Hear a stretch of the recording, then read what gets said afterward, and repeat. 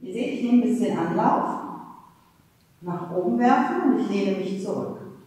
Ich kombiniere das. Ich habe hoch, drop, kick, hoch, drop, kick, hoch, drop, kick. Ich bleibe die ganze Zeit zurückgelegt. Deswegen fliegt mein Bein relativ weit nach oben, mal von der Seite.